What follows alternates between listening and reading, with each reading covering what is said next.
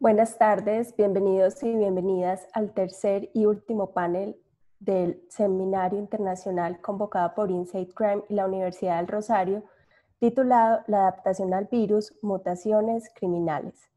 El COVID-19 ha cambiado las dinámicas en el mundo entero y el crimen organizado no ha sido ajeno a esto. Ante esto, los actores se han ajustado y las dinámicas del crimen organizado en la región se han transformado surgen las preguntas por cómo ha cambiado el panorama criminal durante el año, cómo puede afectar a las dinámicas criminales el COVID a largo plazo.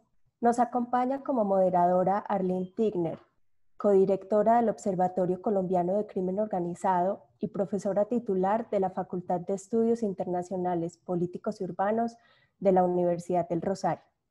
El panel está integrado por Stephen Dudley, Angélica Durán y Carolina Zampó. Recordamos a los participantes que al final tendremos un espacio para responder a sus preguntas, por lo que pueden participar en el chat del evento o a través de Facebook y Twitter. Del mismo modo, para seguir el evento en inglés pueden activar la opción en Zoom a través del icono global. Muchas gracias por acompañarnos. Arlene, bienvenida. Muchas gracias, Sara. Buenas tardes a todas y todos de nuevo. Eh, me es muy grato eh, abrir eh, este último panel de la jornada de hoy. hemos tenido ya dos sesiones muy interesantes sobre Venezuela y sobre crímenes ambientales. en esta sesión, como ya hemos anunciado, vamos a ahondar más en la afectación del crimen organizado eh, por la pandemia del COVID-19 y las posibles tendencias a futuro eh, que esta crisis podrá engendrar en la actividad criminal hacia futuro. Eh, quisiera antes de introducir a nuestros panelistas hacer un, par de, reflexiones en voz alta y de manera muy superficial a modo de introducción del tema. No sin antes excusar a nuestro cuarto panelista, Matthew Charles, eh, eh, eh, investigador postdoctoral perdón, del Observatorio de Crimen Organizado. Matthew se encuentra en este momento en MeToo realizando trabajo de campo y lastimosamente no ha podido eh, eh, lograr una conexión estable a Internet que le permita acompañarnos. Entonces, quiero agradecer su disposición de tratar de participar y, excusarlo en su nombre por los problemas de conectividad planteados. Eh, quiero simplemente plantear unas tres ideas acerca de, de la afectación eh, del crimen organizado eh, eh, a raíz de la pandemia, que seguramente serán profundizadas por nuestros panelistas. primero, simplemente pensando de nuevo en voz alta, no es sorpresa para nadie que las restricciones, el encierro, las medidas adoptadas a manera de tratar de controlar la expansión del virus ha afectado a actores y actividades tanto ilícitos como legales por igual, eh, incidiendo en eh, eh, los flujos comerciales, las cadenas de suministro, entre otras actividades. Y, la pregunta que tal vez plantea esta afectación es hasta qué punto eh, los actores criminales eh, han logrado adaptarse de manera más rápida y de manera más creativa que algunos actores legales e incluso estados en la región eh, en respuesta a este cambio en el entorno regional, por no decir global. Lo segundo tiene que ver con las formas distintas en las que la pandemia ha reducido algunas actividades del crimen organizado al tiempo que ha brindado oportunidades para que los actores criminales se dediquen a nuevas actividades. Aquí estoy pensando, por ejemplo, en las formas en las que el tráfico de personas, sobre todo, se ha visto afectado en algunas partes del mundo y de la región a causa de la interrupción de tráfico aéreo, el cierre de fronteras, restricciones de movilidad de personas y eh, el narcotráfico en algunos casos también, eh, eh, cómo se podrá haber visto afectado en su, en su, en su fluidez pero al mismo tiempo uno podría pensar o preguntarse si los actores criminales ante esto no han encontrado oportunidades para diversificar sus portafolios criminales incursionando, incursionando incluso en eh, actividades legales al invertir en sectores en crisis, al infiltrar sectores que se han vuelto lucrativos a raíz de la pandemia misma, eh, eh, entre otros tipos de actividades que, no vale la pena que yo eh, ahonde. Tercero, y ahí sí pensando a futuro, hemos hablado mucho en, este año sobre la, la, crisis económica y social provocada por la pandemia. y aquí, básicamente, una de las inquietudes que la crisis plantea es hasta qué punto factores como la contracción económica, el desempleo, el empeoramiento de la pobreza y la desigualdad en una región ya muy afectada por estos fenómenos como lo es América Latina, eh, el debilitamiento de las instituciones estatales, eh, el aumento de funciones de gobernanza por parte de actores criminales, reclutamiento de menores, eh, afectación, por ejemplo, del presupuesto de seguridad de algunos estados y del sistema judicial en algunos de ellos, eh, no eh, impactará la actividad criminal hacia futuro. Entonces, sin más, pues quiero ahora sí introducir a nuestros panelistas que sí tendrán mucho más que decir sobre estos temas que yo seguramente. vamos a, a comenzar con Angélica Durán. Angélica es profesora asociada de Ciencia Política de la Universidad de Massachusetts, sede Lowell, y es autora del libro The Politics of Drug Violence, Criminals, Cops and Politicians in Colombia and Mexico, publicado por Oxford University Press en 2018 y ha recibido premios de la Asociación Internacional para el Estudio del Crimen Organizado y del Peter Katzenstein Best First Book Award eh, por esta publicación. Angélica es doctora en Ciencia Política de Brown University, tiene maestría en Estudios Latinoamericanos de New York University hizo su pregrado en Ciencia Política en la Universidad Nacional de Colombia. Eh, además de este libro, eh, que está basado en su tesis doctoral, ha publicado en múltiples revistas nacionales e internacionales. Eh, Angélica y los demás panelistas van a tener siete minutos para hacer su primera intervención eh, eh, Sara nos ha eh, más o menos anticipado el tipo de preguntas en torno a las cuales esta conversación va a girar y luego de esta ronda abriremos a las siguientes rondas con preguntas tanto mías como del público. Invito a todos quienes quieran hacer preguntas a irlas circulando por la pestaña de, preguntas que, encuentran aquí en, en el espacio del Zoom. Angélica, muchas gracias. Muchas gracias a ti, Arlene. Y bueno, pues de nuevo, muchas gracias por la invitación a la Universidad del Rosario, al Observatorio Inside Crime. Arlene especialmente, pues es un placer para mí estar acá y hacer parte del seminario esta mañana estuvo muy interesante y me imagino que esta conversación también lo va a hacer. Em, bueno, creo que como haciendo eco a las cosas que acabo de decir, Arlene, obviamente el COVID ha tenido y va a tener impactos enormes eh, en muchos aspectos de nuestra vida y obviamente las economías y los mercados criminales no son la excepción. Eh, hay algunos efectos que son inmediatos, otros serán de más largo plazo y creo que esos de largo plazo van a tener que ver con, con los retrocesos económicos eh, que, que, se han dado en la región por la epidemia, por la pandemia, eh, pero también estos impactos varían al interior de los países y pueden, y pueden ser a veces contradictorios. Entonces yo quiero hablar de cuatro puntos en los que creo que podemos pensar los impactos de la, de la pandemia. El primero, el primero tiene que ver con las dinámicas de los mercados ilícitos. Aquí obviamente en algunos casos, como decía Arlene, eh, las cuarentenas, las restricciones de movilidad eh, pusieron límites y han puesto límites en algunos mercados, eh, en, la en mover los mercados, por ejemplo en el caso del narcotráfico, afectando las cadenas de suministro, por ejemplo dificultando el acceso de algunos insumos, en el caso de algunas drogas como las metanfetaminas, la restricción de movimiento, por ejemplo, de, de barcos entre China y México ha creado varias restricciones en las cadenas de suministro. Eh, por ejemplo, ha reducido eh, los niveles o las bases de extorsión, eh, especialmente para las pandillas en Centroamérica. Pero por otro lado, también creo que la pandemia ha creado oportunidades para que algunas organizaciones criminales se expandan, se diversifiquen, y, para, y para aprovechar esta menor circulación, de hecho, para, por ejemplo, en el caso del narcotráfico, para buscar nuevas rutas o puntos de movilidad. Em, obviamente que e, esta, esta, esta crisis que vivimos ahora es extrema, pero tenemos experiencias similares anteriores que muestran que en últimas eh, los mercados criminales y los grupos criminales se adaptan. Eh, pero cómo se adaptan depende un poco de su poder. Los grupos más grandes creo que tienen mayor facilidad para adaptarse. Obviamente, generalmente terminan fortalecidos después de las crisis. Los más pequeños creo que en esta coyuntura pueden moverse más algunas actividades predatorias.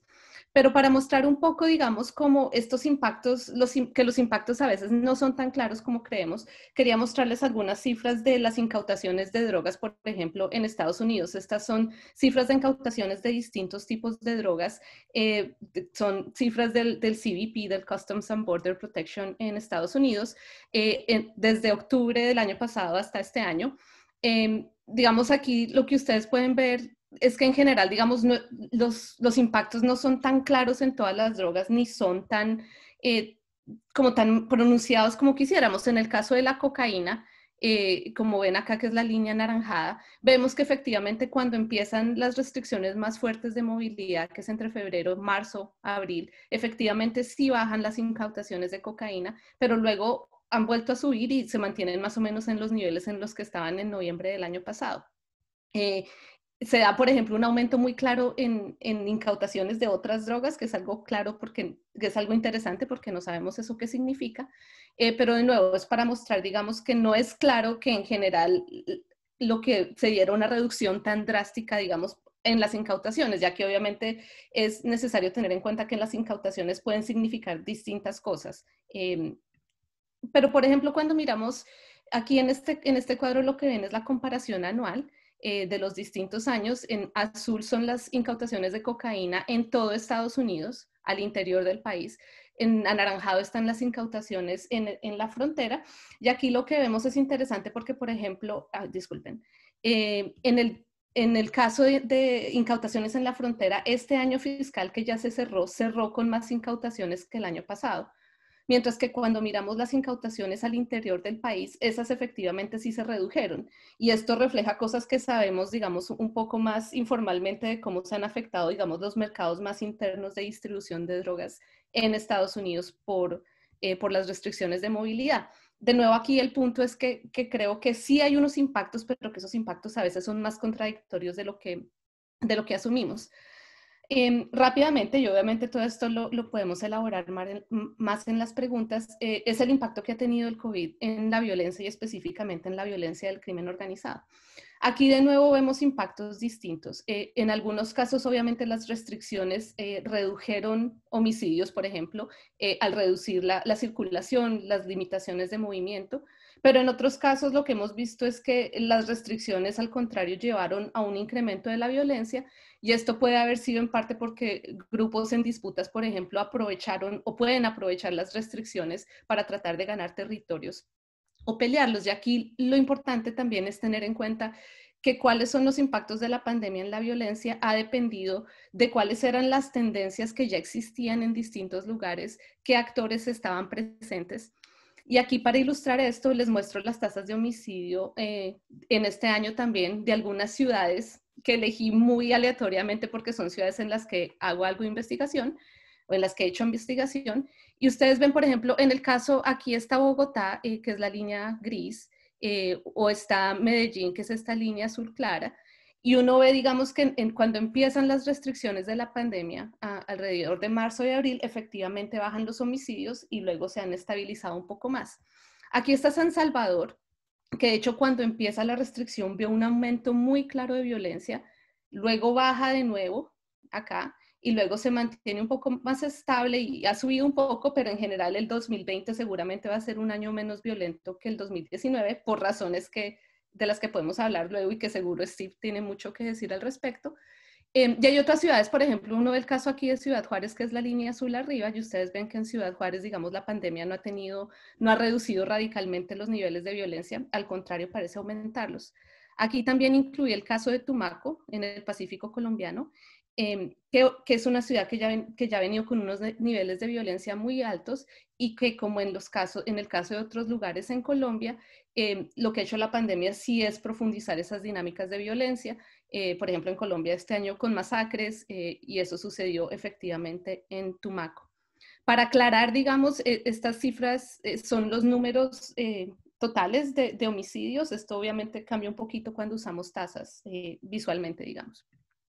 Ahora, última, para, ya para ir cerrando los otros dos puntos de los que quería hablar, es que cómo ha afectado la pandemia a la gobernanza criminal, y esto es algo de lo que Arlene ya habló, em, pero que tiene que ver un poco con el hecho de que hemos visto, obviamente, grupos, hoy tengo un minuto, em, hemos visto grupos que han usado su poder eh, para, para, regular más a las comunidades, para proveerles servicios. Aquí de nuevo creo que lo importante es enfatizar que esos comportamientos cambian a través de los territorios y dependen mucho ya de qué poder tenían los grupos, eh, distintos grupos. En otros casos no se ven estos comportamientos simplemente porque los grupos no tienen la capacidad o el interés de regular los comportamientos.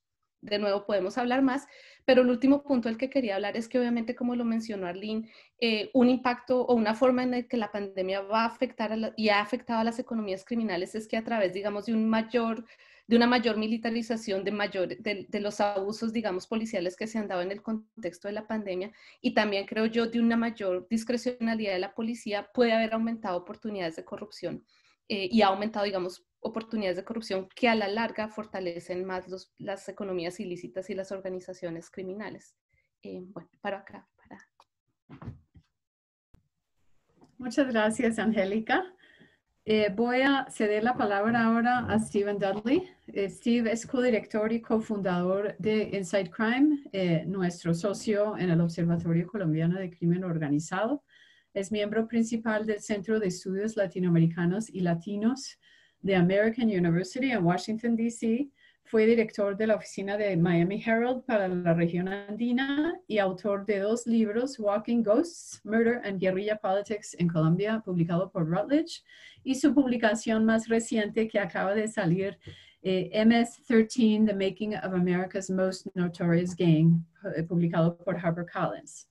Steve, la palabra es tuya.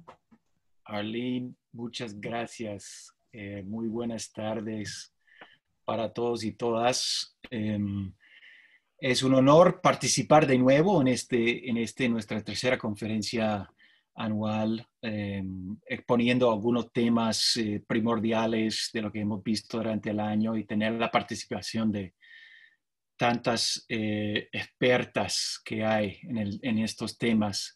Yo, yo quisiera comenzar con una reflexión en general y es que creo que eh, todavía estamos en la fase de evaluar estos efectos, de que estos efectos eh, que estamos viendo, estamos viendo de lejos ahorita. Eh, no hemos podido, o sea, un efecto de COVID para nosotros los investigadores ha sido que nosotros no podemos estar en el terreno, entonces conseguir información fidedigna ha sido difícil. Dicho eso, pues tengo unas reflexiones. Tengo tres reflexiones, porque todo el mundo tiene tres reflexiones. Tengo otras tres reflexiones. Uno, pues eh, eh, eh, subiendo al, al, tema que mencionó Angélica al final, que era esa cuestión de, de, gobernanza criminal, ¿no? Yo creo que eso es como la primera y tal vez la más importante reflexión, de que ellos en, este aspecto, en durante la pandemia, ellos han extendido su poder político y social, eh, sobre todo en los espacios donde no hay presencia del Estado o hay una escasez, de presencia del Estado. Eh, el control eh, existía desde antes, pero ahora se han fortalecido. hemos visto muchos ejemplos de esto. podemos hablar en Brasil, desde el principio ah, hubo tweet como de Comando Vermelho que hablaba de que esto se está poniendo serio, que quédense en casa. En El Salvador las, las pandillas eh, ponían toque de queda. Eh, en Colombia las guerrillas, pues actuales y ex guerrilla, eh, amenazaron a, los ciudadanos que desafiaron el estricto em, em, cuarentena que, había en, algunas zonas rurales. En Venezuela, los colectivos comenzaron a trabajar a la par con el gobierno, a mantener la gente en casa.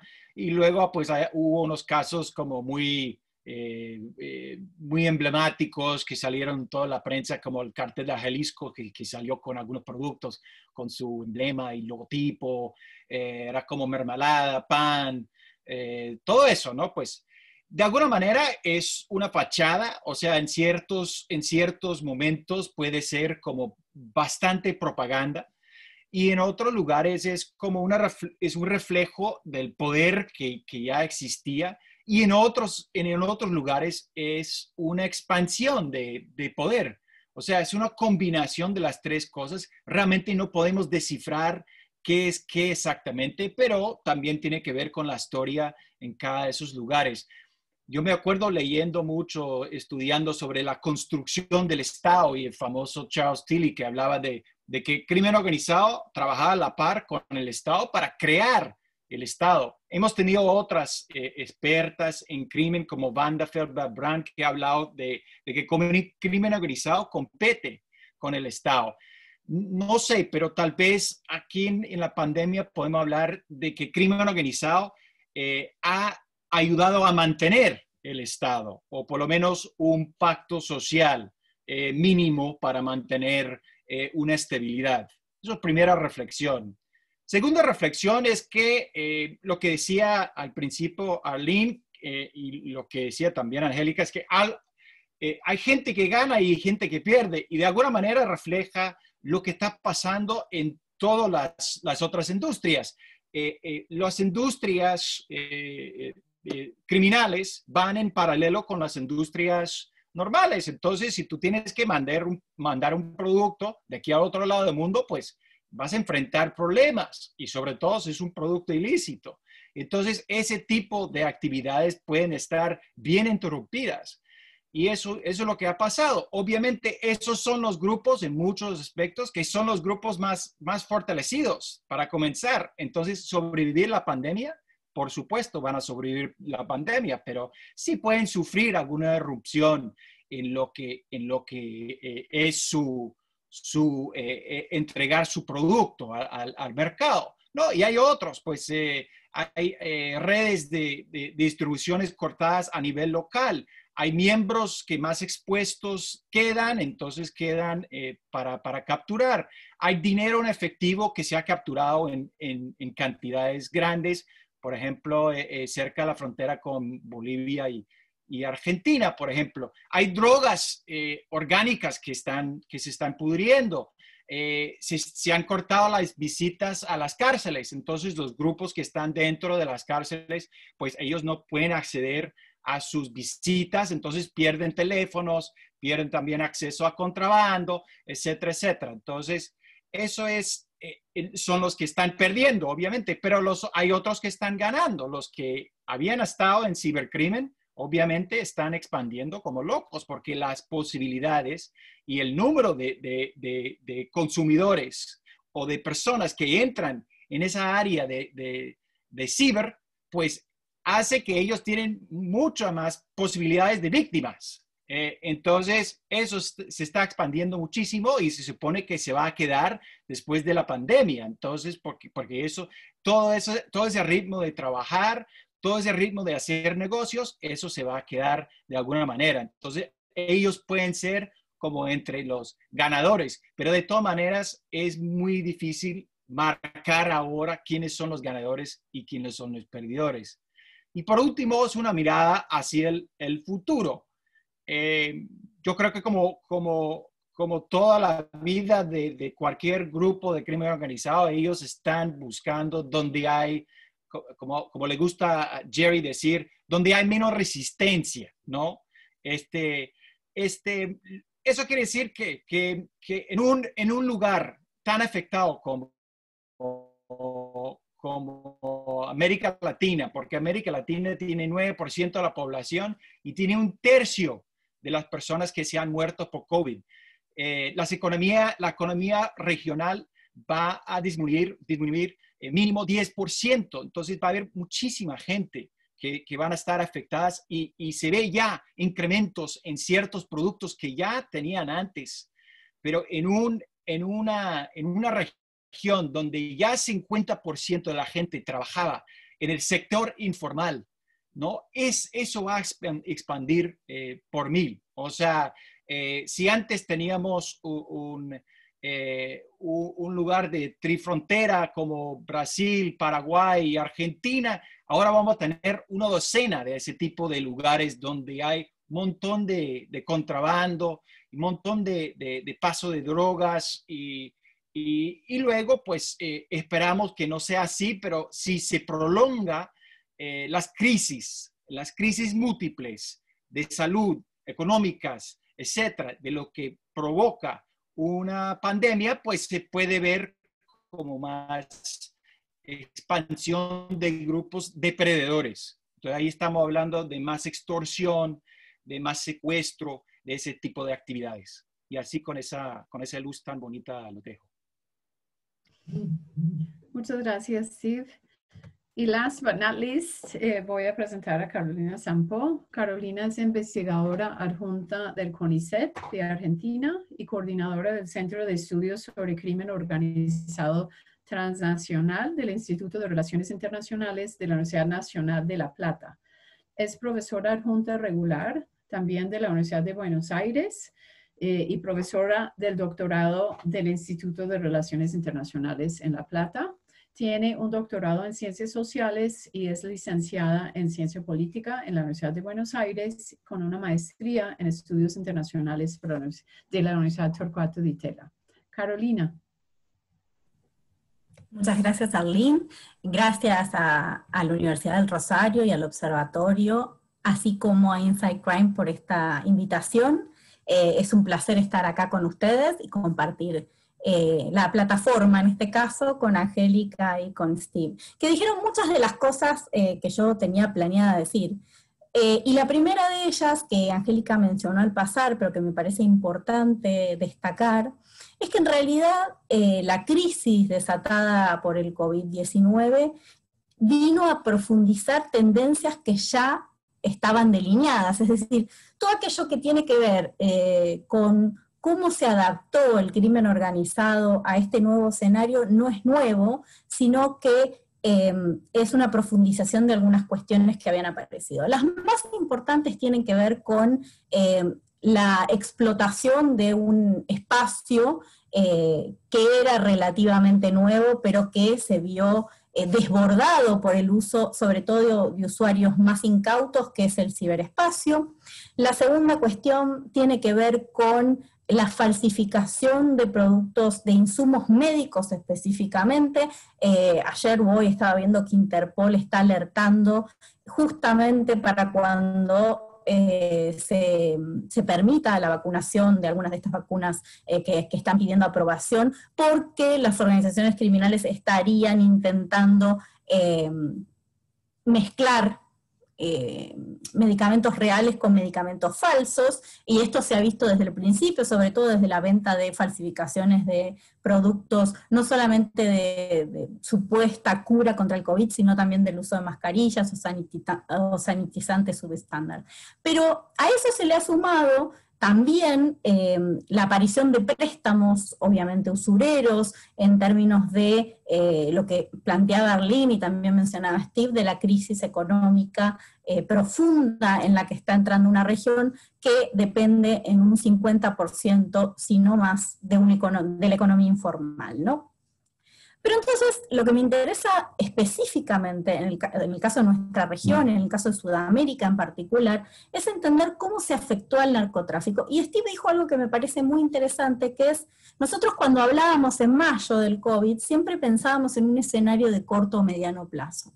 Y lo cierto es que ese escenario se empezó a ampliar cada vez más. Entonces me parece que es importante o que es posible dividir en dos etapas el impacto que ha tenido la crisis de la pandemia o la pandemia en sí sobre las organizaciones criminales narcotraficantes en particular, porque en el caso de Sudamérica tenemos los únicos tres productores de, de cocaína del mundo y es obviamente la actividad ilícita más importante de la región.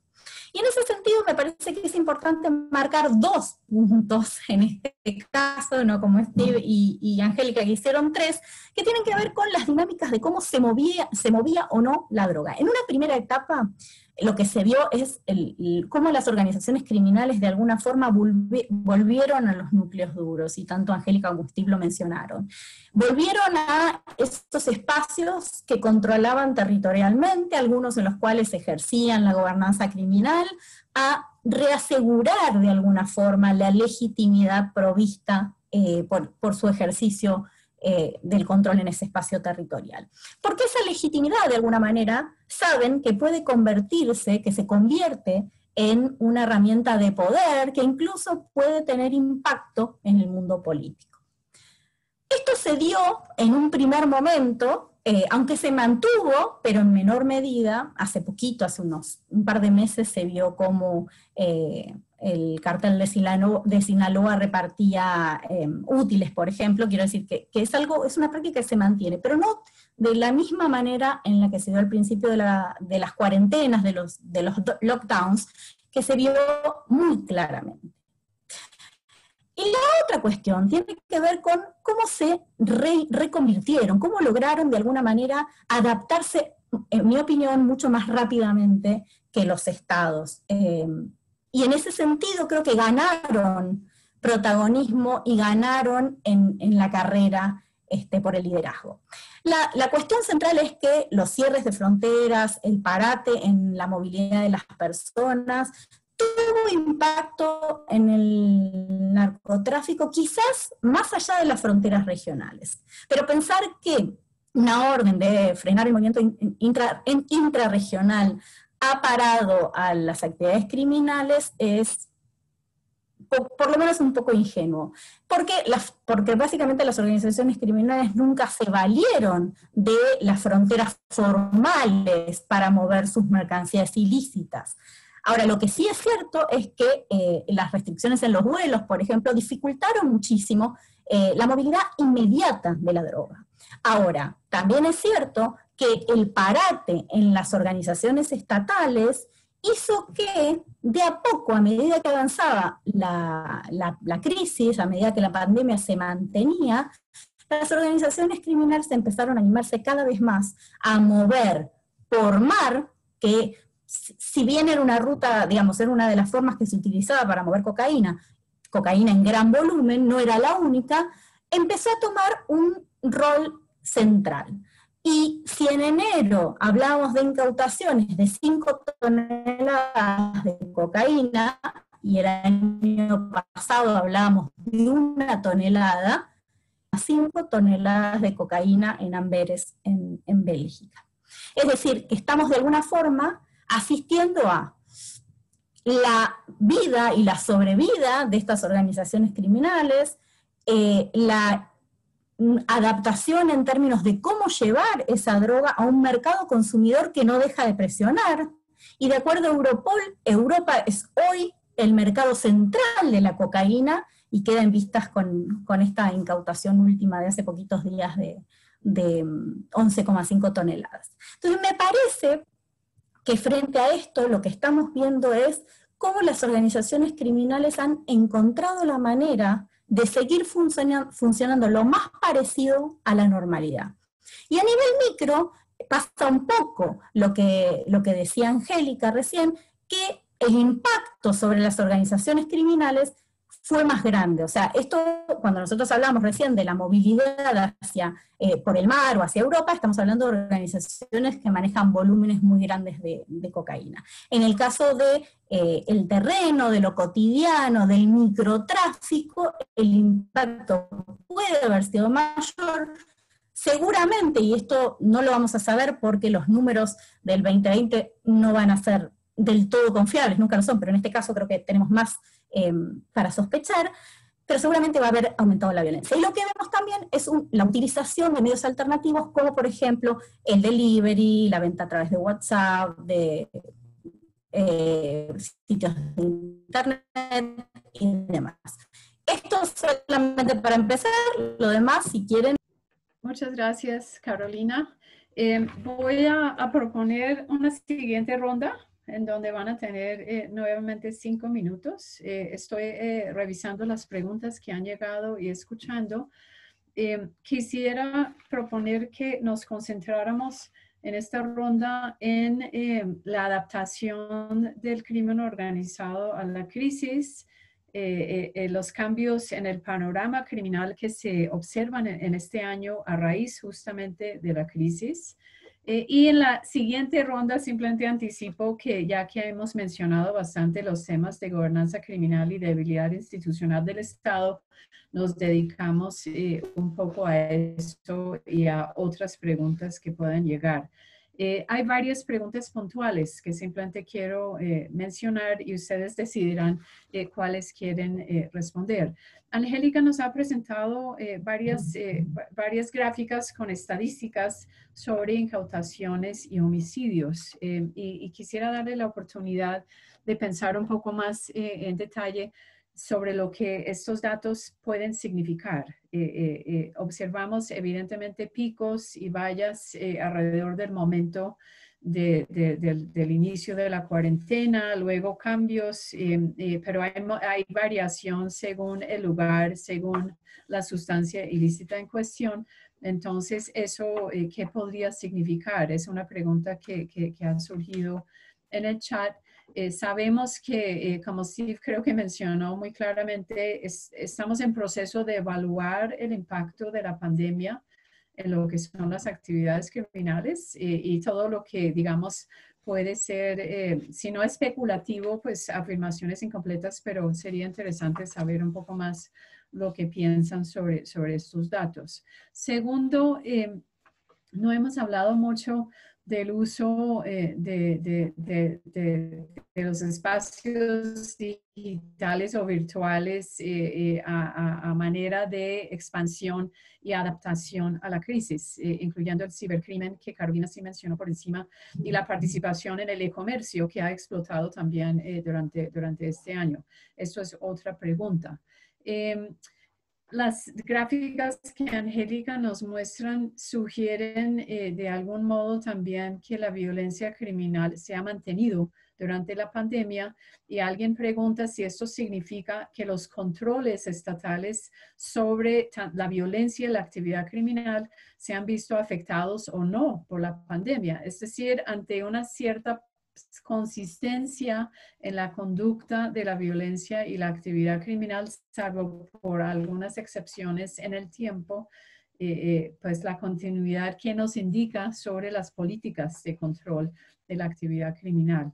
Em, en cuanto a la diversificación de la actividad criminal que han tocado por encima, eh, varios preguntan si los grupos criminales comenzarán a dedicarse entre otras cosas, al robo y contrabando de medicamentos. Creo que esto ya está ocurriendo o incluso a, la vacuna el día que llegue a nuestros países, que no es claro en qué momento eso va a ocurrir, ¿no? Em, y finalmente, eh, en su opinión, ¿qué tipos de dinámicas criminales han ganado y cuáles han perdido o no han ganado a raíz de, lo que está ocurriendo en la región y el mundo? Eh, si están de acuerdo, seguimos en el mismo orden con el que hicimos la primera ronda, es decir, comenzando Angélica, y después de esta ronda voy a cambiar el orden. Ok.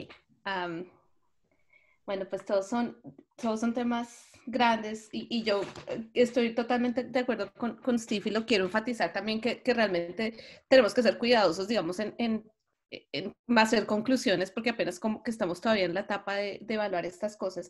Sobre los datos y sus variaciones, creo que una de las razones por las que quería mostrarlos es precisamente porque vemos que, que a veces que el impacto, por ejemplo, incluso de, las restricciones iniciales a veces no es tan radical como, como hubiéramos pensado que iba a ser, al menos en ciertos indicadores.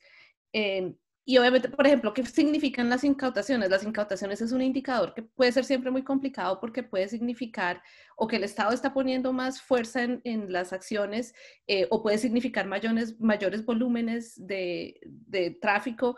Eh, y, y, obviamente hay una cifra negra enorme porque hay un, un montón de, de, tráfico que nunca se para.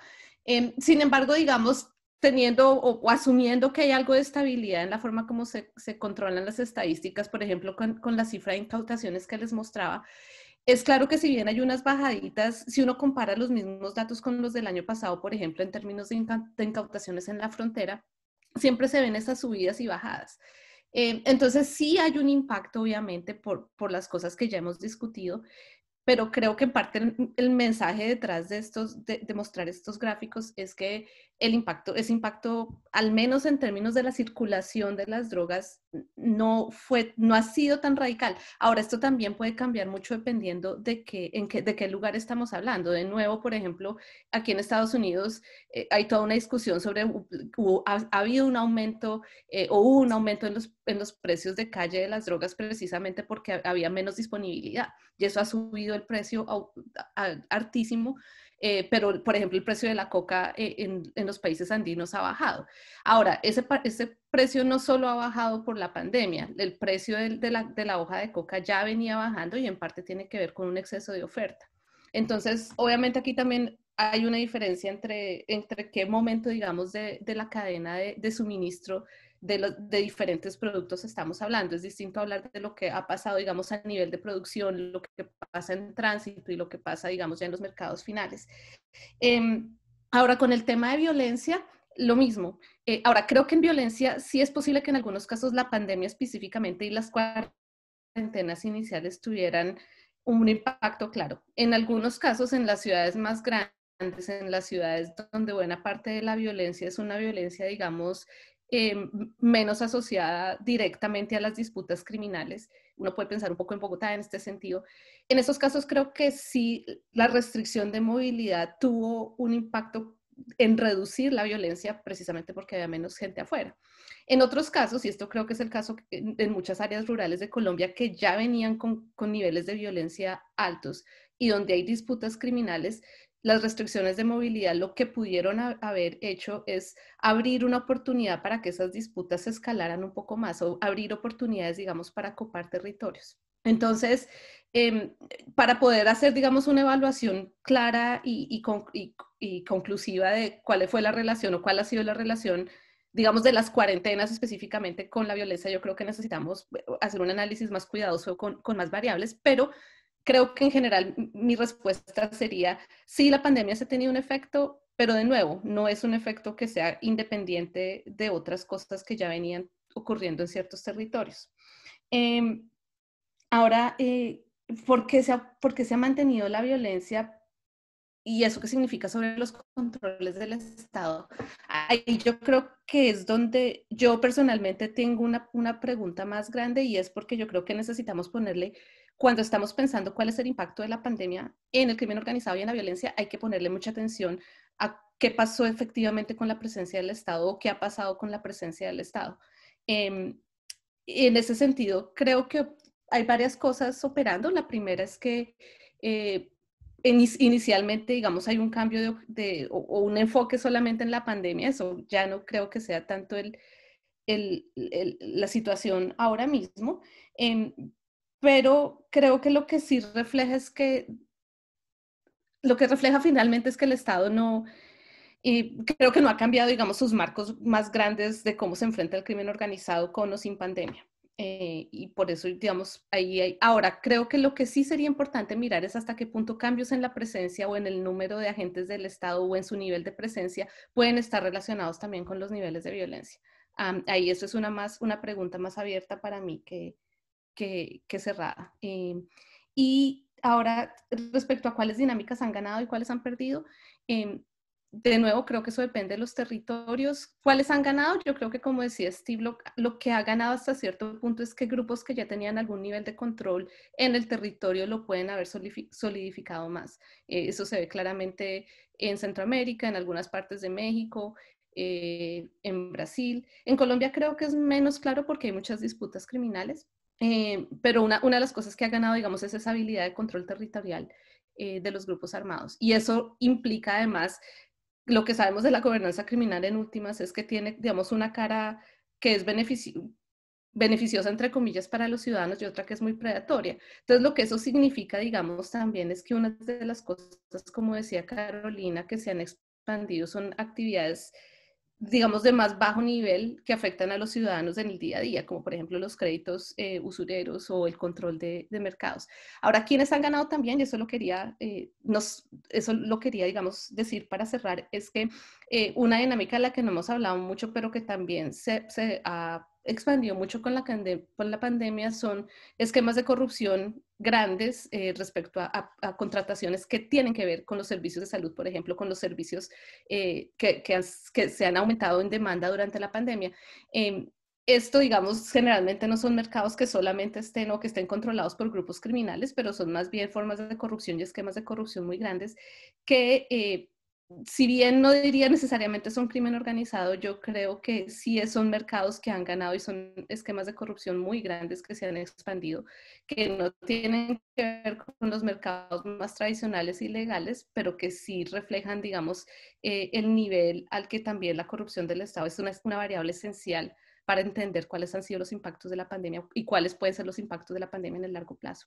Eh, no sé si tengo tiempo todavía o si no. puedo, parar ahí. Tendrás que esperar hasta la siguiente ronda. Steve. Eh, bueno, son, son tantas preguntas y tantos temas. Eh, solo voy a, tratar tres, porque eso es lo que me gusta, así quedarme en tres. Em, y hablando de un poco de agilidad, o sea, la pregunta de, de si el crimen organizado, entre comillas, porque obviamente estamos hablando de, de, un monstruo de mil cabezas, pero el crimen organizado es más ágil. Pues obviamente es más ágil, eh, eh, pero el rebusque es de todos y ellos no son diferentes. Eh, nosotros hemos documentado ciertas maneras que ellos han hecho ese rebusque. Ahí estoy hablando de, solo les doy un ejemplo, el, el menudeo. los que venden menudeo obviamente no, no tienen libre paso como tenían antes o no tienen acceso a los clientes. Entonces tienen que inventar maneras de, llegar a los clientes y han hecho, eh, o sea, eh, irónicamente, pues han hecho lo mismo que, restaurantes y hacen takeaway, por ejemplo, ¿no? Que, puedes llegar y, y, sacar la droga de donde están ellos. O sea, obviamente siempre han tenido eso de servicio a domicilio y eso sigue, pero, pero también tienen lo de takeaway tienen, eh, eh, han, han, tenido eh, o han camuflado ambulancias para poder transportar drogas. se han camuflado ellos mismos en, trabajadores esenciales este, para entregar comida o medicinas. en fin, un sinfín de, de posibilidades para, para, este tipo de grupos de, de actuar y creo que eso es lo importante a nivel local porque realmente estamos hablando de que el espacio donde ellos pueden operar y pueden vender su producto se ha reducido. Eh, y eso, eso puede estar cambiando, obviamente, con los cambios de las cuarentenas y, y, y los mismos las mismas poblaciones que ya se cansaron de las cuarentenas y ya no siguen las reglas, etcétera, etcétera. Entonces se va abriendo esos espacios, por supuesto, pero en un principio estamos hablando de espacios reducidos y cómo es que ellos hicieron su rebusque de sobrevivir en esos espacios reducidos. Segundo, ha habido como un incremento de actividades criminales que tienen que ver con la situación económica. O sea, em, o sea, directamente con la situación económica. Entonces, cuando alguien en la familia pierde el trabajo o tú pierdes tu trabajo, pues vas y, buscas maneras de reemplazar el dinero que, no, que ya no ganas. Eh, y, y, en eso lo que hemos visto es eh, incremento y de nuevo estamos hablando de incautaciones, entonces no, nada científico de eso, pero incautaciones mayores de flora y fauna y eso que, son, son eh, eh, economías criminales con una barra muy, muy baja. Entonces pueden entrar y eh, aumentar su producción, entre comillas, que sería o talar más madera o conseguir más pájaros o lo que fuera y vender más. En, en, el mercado. Eso, eso es lógico, es lógico en la situación económica en la cual nos encontramos.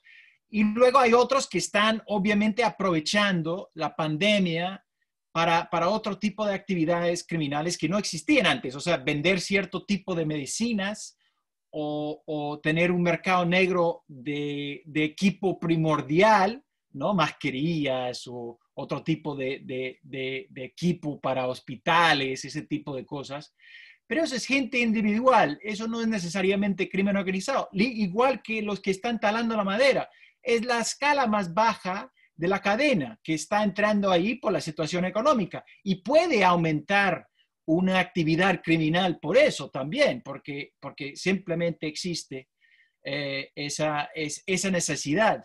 Igual puede aumentar el mismo consumo de drogas eh, por lo de narcomenudeo, porque no se puede transportar drogas, entonces se puede acumular drogas en ciertos lugares y puede haber un aumento de consumo. Y ese aumento de consumo de drogas puede eh, postergar después de, la, de, coronavirus. Eso puede ser un efecto duradero, por ejemplo, eh, de, coronavirus.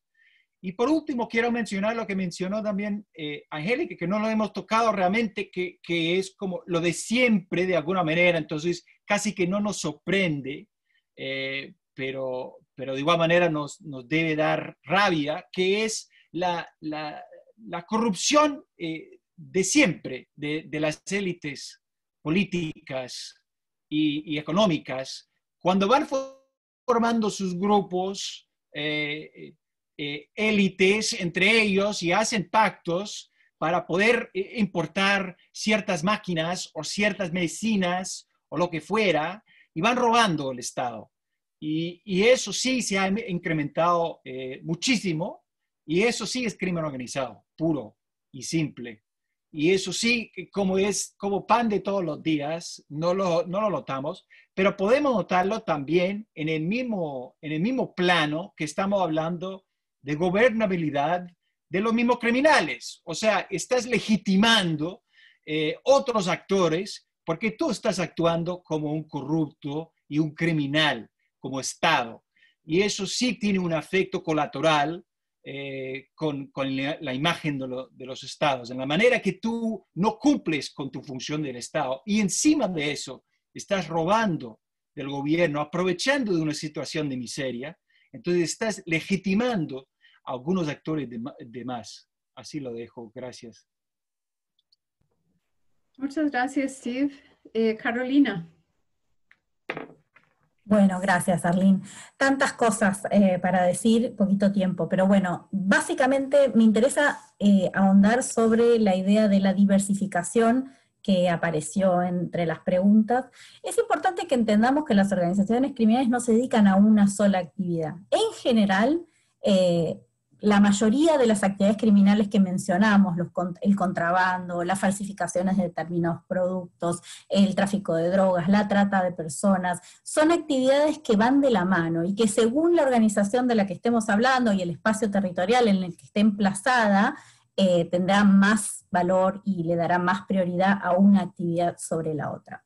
En ese sentido, sí es cierto que la pandemia abrió la puerta para un espacio que, como decía antes, es relativamente nuevo, que es el cibercrimen. Y como mencionaba hace un ratito Arlene, eh, el e-commerce y sobre todo los riesgos en, el e-commerce de muchísima gente que no estaba acostumbrada a utilizar eh, Internet como un espacio eh, para interactuar con otros, para comprar y demás. Y es cierto que las organizaciones criminales se han sacado provecho de esa situación pero no por eso se dejaron de eh, desarrollar actividades como las que tienen que ver con el tráfico de drogas, las que tienen que ver con, el contrabando y las falsificaciones y las que tienen que ver con la trata de personas. Y acá eh, me hago eco de un informe reciente, creo que es del mes pasado, si no de este, no del mes pasado, de noviembre de ser, eh, de Naciones Unidas, donde se habla claramente de cómo esta situación de crisis económica y social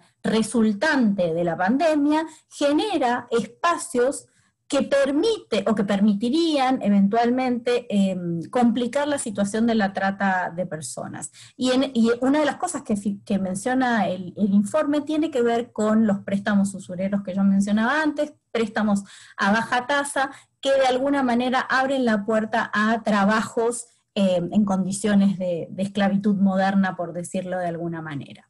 Me interesa también eh, rescatar lo que mencionaban Angélica y Steve sobre las incautaciones, el poder del Estado o de qué nos hablan. ¿no? Yo siempre digo que eh, es un indicador un poco complicado porque uno no sabe muy bien eh, qué le dicen esos números. En este contexto en particular, donde creo que los estados han demostrado que, que quedaron en una especie de stand-by, al menos por unos cuantos meses, diría yo, las incautaciones parecen mostrar mayor actividad eh, en el tráfico de bienes ilícitos en general, eh, de, cocaína en particular. Y sobre todo, el volumen, como decía al principio, no es una cuestión menor. Digo, hace un año hablábamos de una tonelada eh, de cocaína por envío. en marzo hablábamos de 5 toneladas. En noviembre, es decir, hace un mes, hablábamos de 11 toneladas. Lo que estamos viendo claramente es que las organizaciones criminales eh, deciden tomar riesgos porque saben que no es tan eh, probable que sean intervenidas en el camino. Agarraron eh, un, un, cargamento, no sabemos cuántos de 11 toneladas pasaron.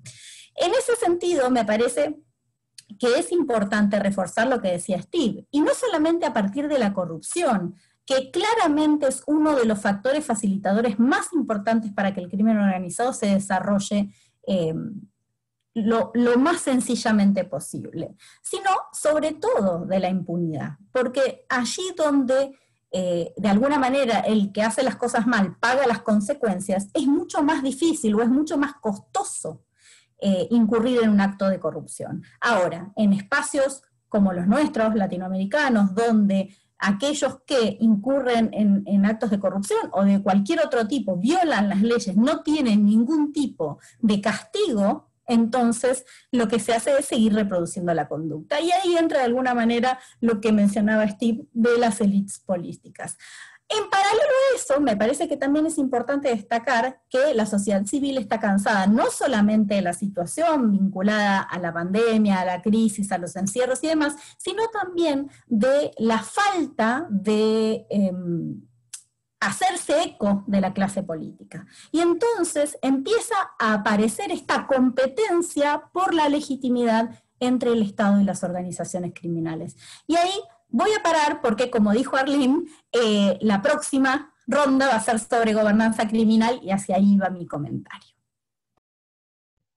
Eh, muy bien, eh, yo creo que nos quedan unos 17 minutos alcanzarán para hacer dos rondas. Voy a, solicitar que la siguiente sea de intervenciones un poco más cortas para poder agrupar tantas preguntas como pueda. Entonces, como ya anuncié, quisiera que pensáramos eh, eh, ahora sí en los temas de gobernanza criminal y de debilidad institucional del Estado. Y aquí hay una batería de preguntas que voy a tratar de resumir de la siguiente manera. Eh, hemos hablado varias veces ya eh, de gobernanza criminal. Quisiera preguntar si alguien podría precisar a qué se refiere ese término que alguien está preguntando. Una definición escueta de gobernanza criminal.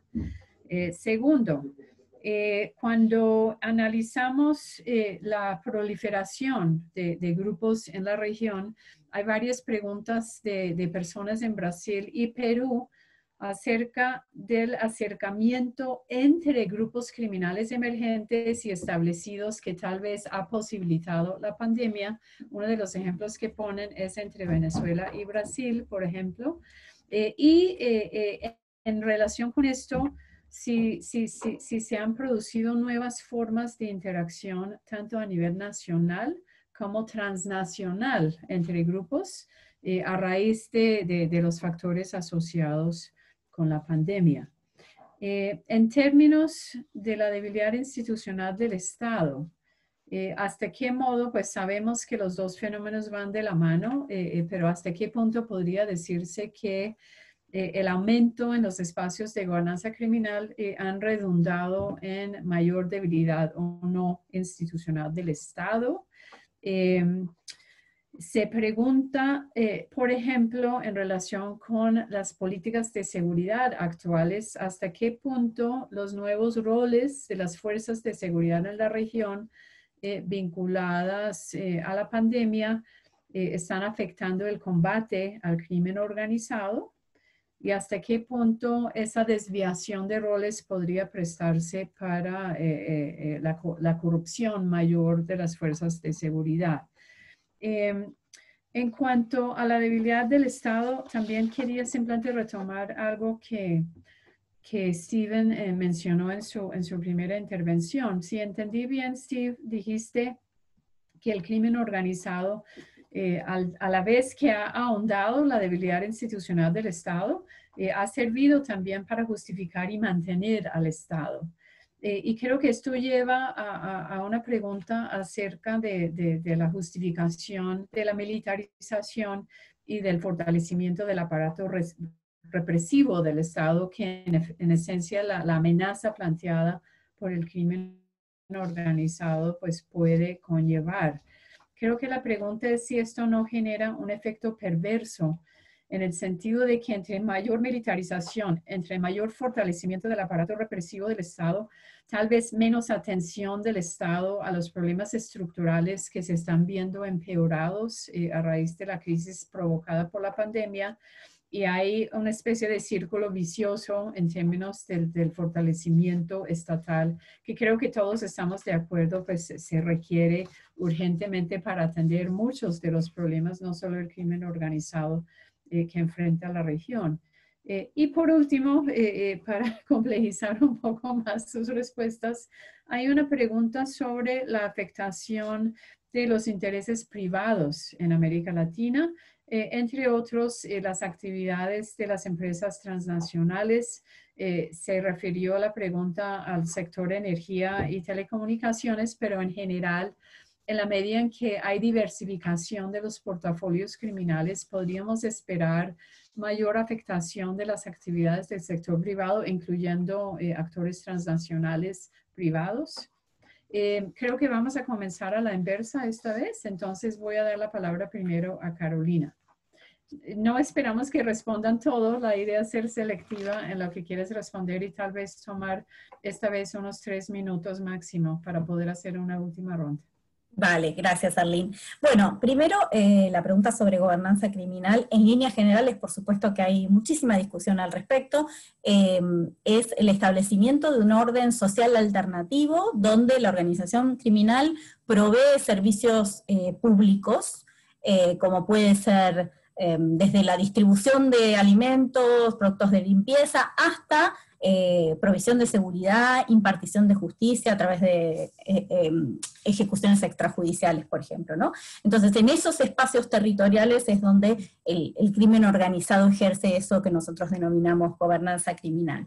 Me parece em, interesante esto que planteaba Arlene recién sobre cómo se han visto modificados, si es que se han visto modificada la interacción entre las organizaciones criminales, tanto a nivel local o a nivel nacional como a nivel transnacional. Y en ese sentido, el, acercamiento, digamos, de grupos criminales pequeños, emergentes, con algunos más constituidos, por lo menos en los casos que yo habitualmente trabajo más, como pueden ser Brasil, me parecen poco probables de abajo hacia arriba, es decir, me parece poco probable si no es a partir de em, un grupo grande, como puede ser el PCC, avanzando sobre grupos pequeños que eh, son los más afectados o los más golpeados por la pandemia em, en el terreno y entonces a lo mejor tienen que recurrir a estructuras más grandes para seguir subsistiendo, para seguir sobreviviendo.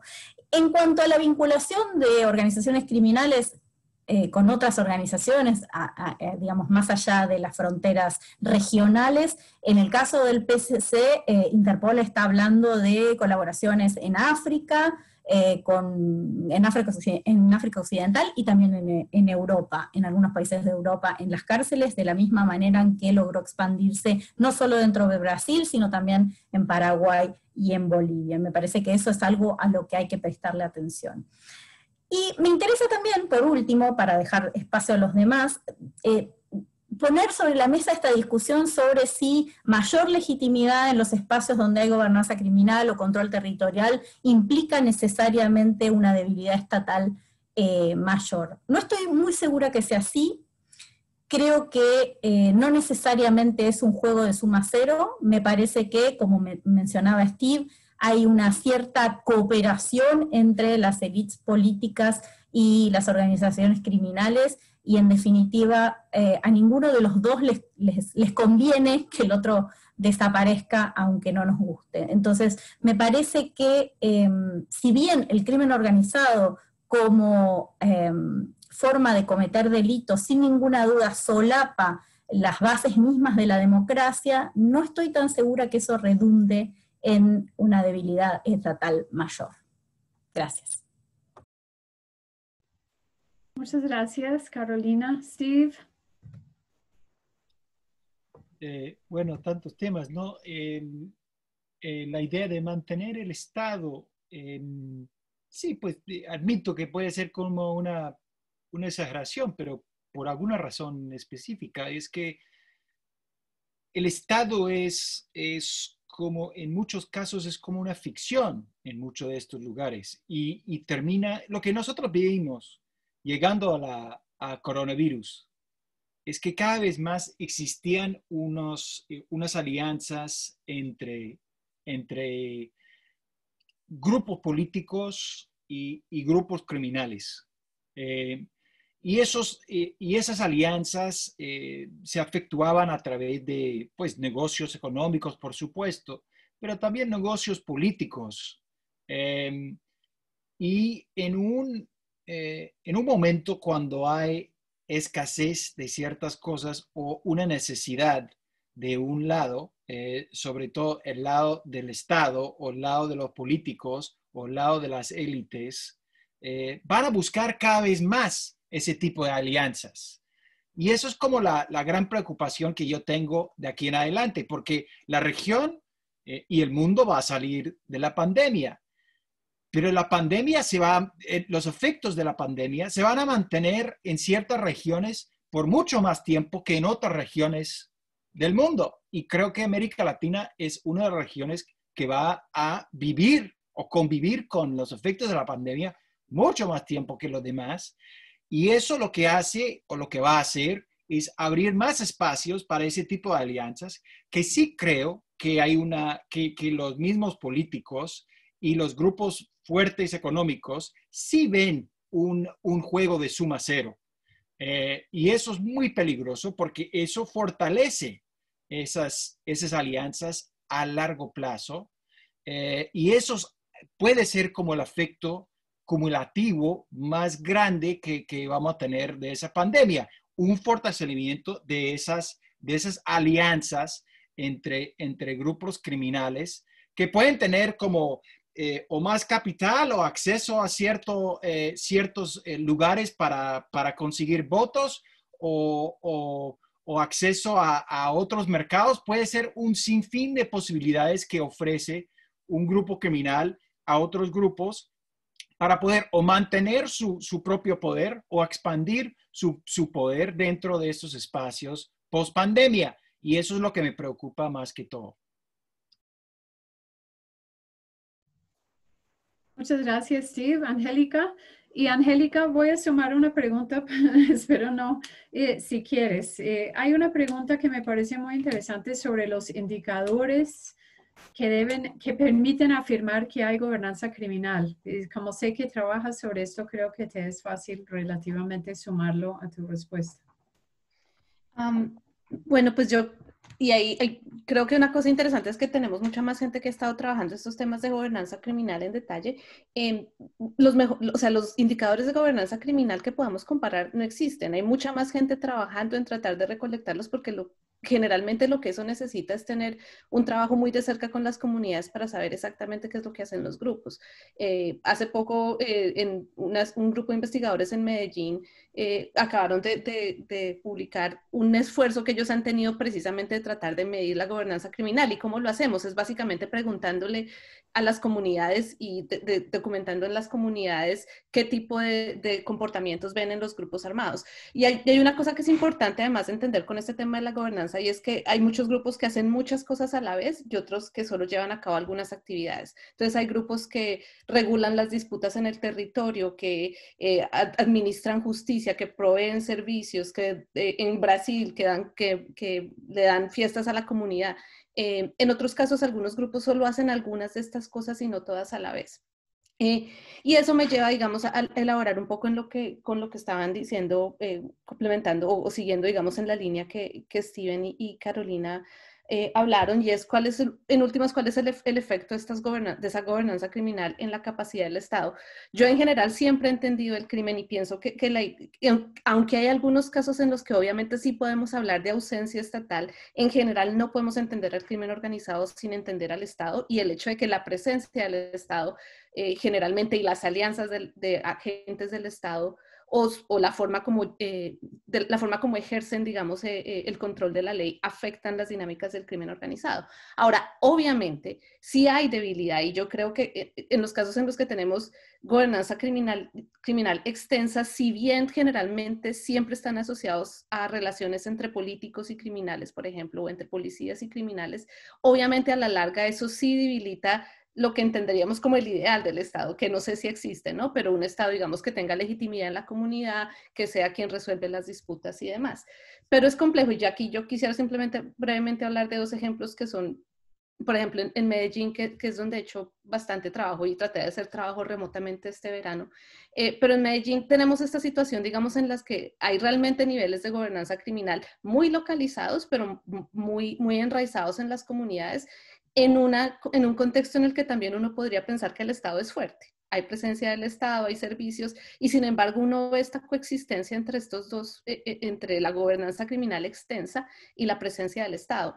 En El Salvador, por ejemplo, eh, es claro que las pandillas dentro de la pandemia han extendido sus formas de gobernanza criminal de una manera muy fuerte sobre las comunidades, pero a la vez ha habido una expansión tremenda del poder del Estado, de un poder muy militarizado y de un poder muy represivo, pero ha pasado a la par que se ha, que se ha aumentado la gobernanza criminal e incluso parece ser por, precisamente por relaciones entre, entre actores del Estado y, el liderazgo de las pandillas hasta cierto punto, que se ha expandido.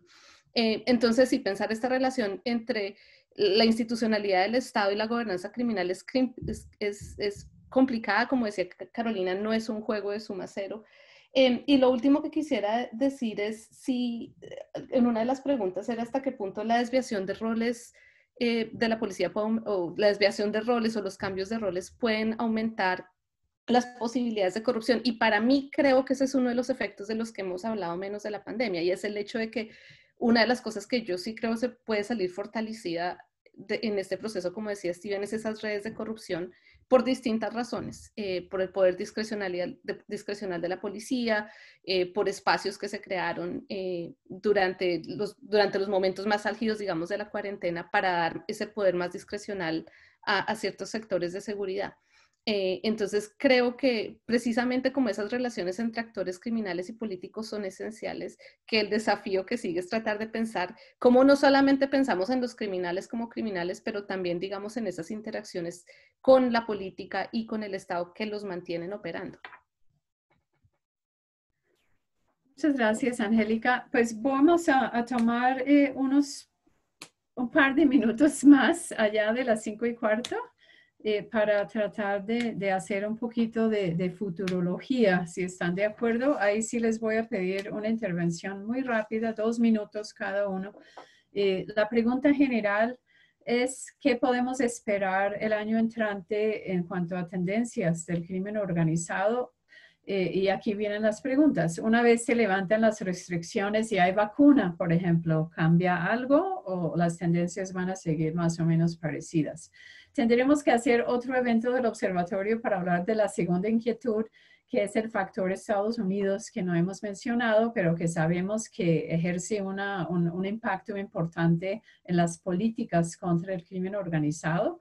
Eh, eh, eh, las dos preguntas serían cómo podría afectar las tendencias y la política el cambio de gobierno que se avecina en enero y si, si, la afectación del mercado de consumo de sustancias ilícitas en Estados Unidos, pues eh, eh, afecta en algo las tendencias del crimen acá. Eh, tres, la importancia creciente de las redes sociales en cosas como el narcomenudeo y la creciente importancia del e-comercio y el cibercrimen. ¿Se mantiene ya que se ha producido esta diversificación o comienza a mermarse una vez logramos superar esta etapa crítica de la pandemia? Eh, y por último, eh, eh, la incapacidad del Estado de satisfacer las necesidades crecientes de la población en distintos países de América Latina a raíz de la crisis provocada por la pandemia conlleva a, un mayor empoderamiento de actores criminales o más o menos las tendencias podrían seguir parecidas. Para esto voy a dar la palabra primero a Steve, luego a Carolina y terminamos con Angélica. Ay, tan fáciles las preguntas, además, Arlene. Mira, yo, yo realmente, yo creo que estamos todos como, eh, de alguna manera, pues agarrando cosas que podemos ver, sentir, eh, porque obviamente como todos hemos estado eh, básicamente encerrados en la casa, suponemos lo que está pasando por fuera de la casa, pero no sabemos realmente. Y yo tengo la sensación de que de que vamos a encontrar muchas más cosas eh, de lo que esperamos. Pero en términos generales, lo que yo, lo que yo espero, em, no sé si espero, pero lo que, lo que creo que va a pasar eh, va a ser lo que yo estaba hablando antes, de que, de que la pandemia se va a sentar más tiempo, o los efectos de la pandemia se va, se va a sentir mucho más, mucho más tiempo en América Latina que en otras partes del mundo. Y, eso va a generar eh, ese, eh, como, unas, como, ese, como una especie de alianzas. O sea, estamos hablando de, gobernanza criminal eh, y debemos estar hablando tal vez de, de los, lo que dice mi amigo Juan Belecao como, como gobiernos que son criminales. y eso es lo que estamos viendo, este, como, como en efecto para sobrevivir lo que viene, no solamente con el fin de la pandemia, sino lo que pasa después, va a tener que, estar ocupando ciertos espacios eh, donde, donde hay criminales, ¿no? Comienzo o, vuelvo a repetir lo que yo decía antes, 50% de la economía actual o antes de la pandemia en América Latina era informal. O sea, imagínate la cantidad de informalidad que va a haber después. Y entonces eso es lo que me preocupa más que todo. Y con eso eh, cierro, Arlene. Gracias. Muchas gracias, Carolina. Tu último minuto. Muy bien. Eh, yo creo que de alguna manera como Steve, me parece que hay muchas cosas que llegaron para quedarse, entre otras cosas porque la sensación es que la gente tiene miedo y se está acostumbrando a vivir de esta manera, ¿no? Entonces, no estoy tan segura que en el momento en que efectivamente todo el mundo logre vacunarse, sea tan fácil salir a la calle, sea tan fácil dejar las prácticas a las que de alguna manera nos hemos acostumbrado. Y en cuanto a la, incapacidad del Estado de, satisfacer eh, las necesidades de la población, me parece que la cuestión central tiene que ver con los problemas económicos y el impacto social de eh, la crisis económica y de la caída del, PBI que se ha generado eh, este año y que se va a mantener eh, un par de años más eh, con seguridad. Dando lugar a lo que Lucía Damer hace unos días en, otro evento mencionó como o denominó el proletariado del crimen organizado, ¿no? Y ahí me parece que entra em, una cuestión muy importante que es el reclutamiento potencial al que pueden eh, apelar las organizaciones criminales, considerando, como decía Steve recién, la informalidad, los niveles de informalidad de las economías latinoamericanas y la incapacidad de los estados de atender eh, a, todas, a, todos, a todos los lugares al mismo tiempo, ¿no? No solamente a la pandemia, no solamente a la crisis sanitaria, sino también a la crisis económica y a la crisis social. Entonces me parece que ahí hay que prestar muchísima atención, sobre todo a aquellos que pueden ser agentes centrales, como son las mujeres en las comunidades, eh, para evitar el avance del crimen organizado.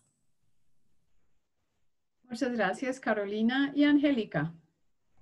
Eh, pues bueno, para concluir, creo que como no hablamos, hablaré un poquito de Estados Unidos, qué pasa con el cambio de gobierno. Yo em, creería que en algunos, obviamente, en, muchas dimensiones es, un cambio muy bueno, pero que hay ciertos aspectos que no creo que cambien radicalmente y otros que sí. Y, y digamos, para el tema del que estamos hablando, ¿qué puede cambiar? Que creo que puede ser importante, digamos, eh, para la región cuando hablamos de, crimen organizado. Eh, yo esperaría que el nuevo gobierno sea más eh, proclive a apoyar esfuerzos que han tenido algún impacto positivo en la región. Por ejemplo, los procesos que de justicia que venían de la mano de CICIC en Guatemala, que ya se había acabado, procesos de, investigación de, de la mano de la justicia en Honduras que también estaban recibiendo apoyo internacional, pero que van ligados, digamos, a esta necesidad de, de realmente, eh, para realmente atacar, digamos, la criminalidad, hay que entrarle al corazón de esas relaciones entre política y, actores criminales. Y creo que algunos esfuerzos que estaban en curso, que tenían algún apoyo de Estados Unidos, perdieron totalmente ese apoyo durante esta administración y lo pueden ganar de nuevo, tal vez con la administración de Biden, lo mismo obviamente también puede, eh, puede aplicarse para el caso del proceso de paz en Colombia, que tiene unas implicaciones enormes eh, con relaciones con, con, economías ilícitas. Y ahí de nuevo creo que el gobierno de Biden puede estar mucho más proclive a, apoyar, digamos, el proceso de paz, eh, lo cual tiene, puede tener implicaciones positivas, digamos, eh, para, para, las economías criminales. Ahora, en otros casos, no es muy claro, creo yo, que el gobierno se vaya a mover tan radicalmente. Por ejemplo, en términos de políticas de migración, que no hablamos, pero que tienen, es otro tema enorme, pero por ejemplo, en la frontera entre Estados Unidos y México, una de las políticas de mandar a los migrantes de regreso a la frontera ha generado unas situaciones sociales tremendas en la frontera entre Estados Unidos y Colombia hoy, y, y en ese sentido... Eh, eh, digamos, también eh, creando más oportunidades para fortalecer el crimen organizado, si esas políticas de regresar a, los, a los quienes buscan asilo a la frontera mexicana parara, creo que eso tendría unas implicaciones positivas, pero no creo que en ese caso, digamos, la administración de Biden vaya a cambiar radicalmente esa política en el corto plazo. Entonces ahí depende, creo yo, y hay algunas cosas que pueden favorecer y otras que no tanto. con eso pararía. Eh, muchas gracias, Angélica. Pues sí, yo creo que haremos otro evento el año entrante en la medida en que las políticas del gobierno entrante se vayan aclarando. Con esto vamos a cerrar esta mesa. Quiero agradecer a Angélica, Carolina y Steve para, para una discusión que ha sido para mí al menos fascinante. Eh, agradecer a nuestro público y voy a ceder la palabra a Sara García, nuestra maestra de ceremonias, quien va a cerrar el evento. Muchas gracias, Arlene. Eh, quiero también agradecer a Arlene, a Angélica, a Carolina y a Steve por acompañarnos y compartir el día de hoy sus reflexiones. Damos por terminado el tercer seminario internacional COVID y Crimen, la evolución del crimen organizado en América en 2020. Les agradecemos a los asistentes, moderadoras, panelistas por acompañarnos el día de hoy. También a quienes nos siguieron a través del Facebook Live y redes sociales e interactuaron con el hashtag Crimen Organizado Latam, a los equipos organizadores, a los miembros directivos y funcionarios del Observatorio de Insight Crime y de la Universidad del Rosario. A todos, gracias por su compromiso, presencia e importantes aportes. Recuerden que las memorias de este evento Podrán encontrarlas en el canal de YouTube de Inside Crime y en el blog del observatorio. Les deseamos una feliz tarde.